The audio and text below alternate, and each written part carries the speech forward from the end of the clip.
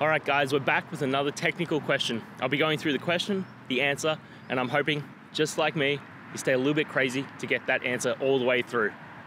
Guys, let's get started.